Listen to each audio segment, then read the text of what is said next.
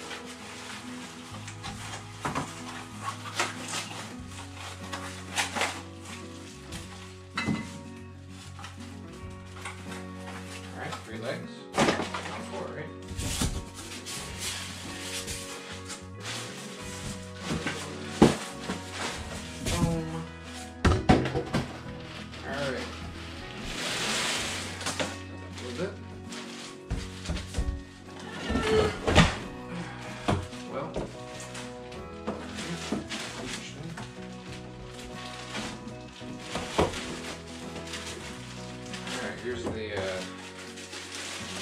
controller. It's bigger than I imagined. But it's all got the uh, gripping stuff on it. Comes with two bats, a square one that's 7.5 inches, and a round one that's 12 inches. And the directions. In the back here there are these are bat pins, so they hold your bats onto the head, wheel head. So you gotta figure out how to get those on. Uh, an Allen wrench, which I guess I'll need for the legs. Some directions.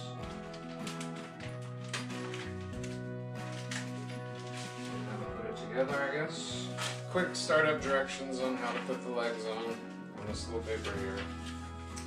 So that'll probably be my next step. Registration card, owner's manual.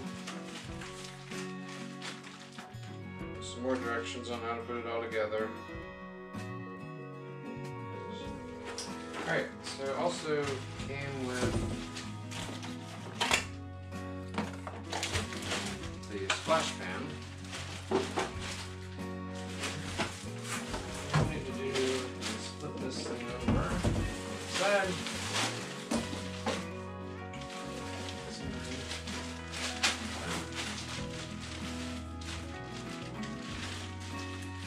Got some Allen screw screws right here. So it's these top two have to stick all the way up.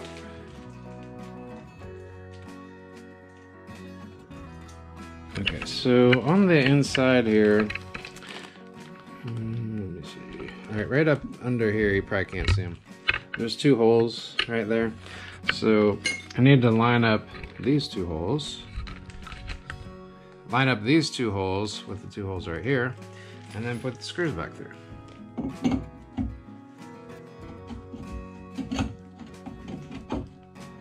Okay, got that one. This one here. All right, so just turn them in as tight as you can by hand. And then you can get the Allen wrench on them.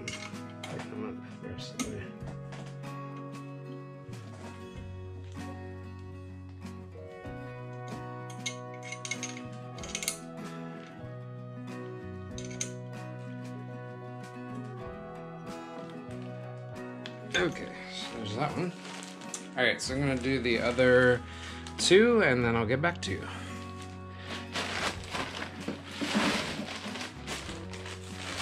Okay, so the next thing I'm going to do is um, put the bat pins in. So there's a little hole, two holes on the top of the head here. Got the bat pins.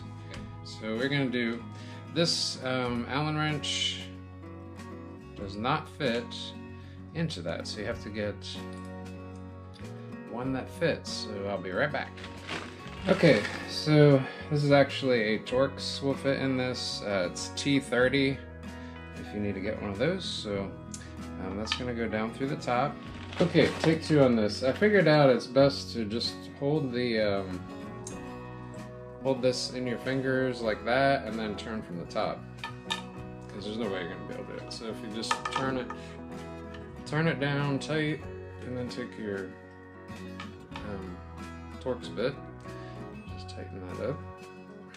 snug right there. All right, now I'm gonna do the other side.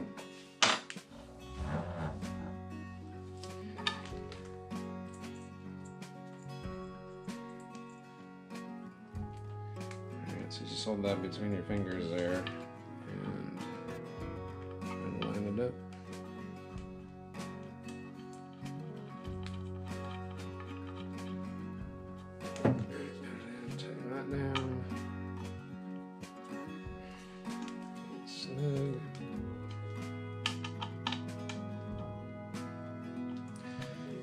Alright, the next thing is the splash pan.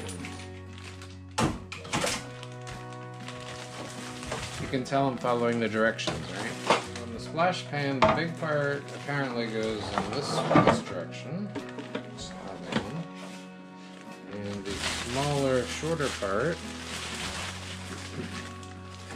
goes on this side. So, That. It sits up pretty high. I might have to have it up on some blocks of wood. I think I gotta take those out. Should still be level.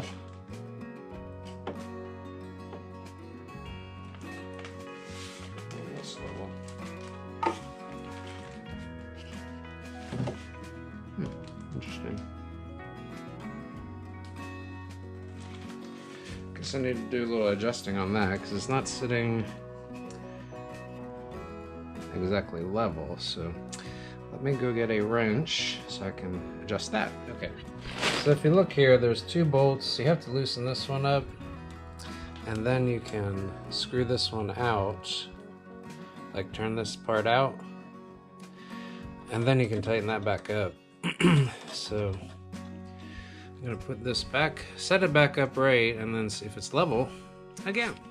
Okay, so I'm getting close. I'm gonna keep turning this out some more. And it's getting close.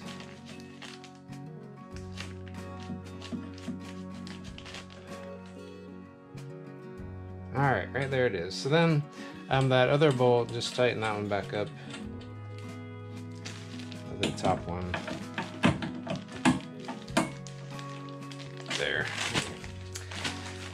See it's level now. All right, so something else you want to check is your level side to side, and you'll see that I'm a little bit off side to side. Um, so I'm gonna raise up the left side a little bit to get that side level. So I'll be right back. Okay, so I got the wheel level that way and also going across this way. So gotta play around with that a little bit. Don't know if that's necessary. It doesn't really say anything about in the directions about getting it level, but it seems like that would be a good thing to do. So, of course, I didn't read the directions word for word, so.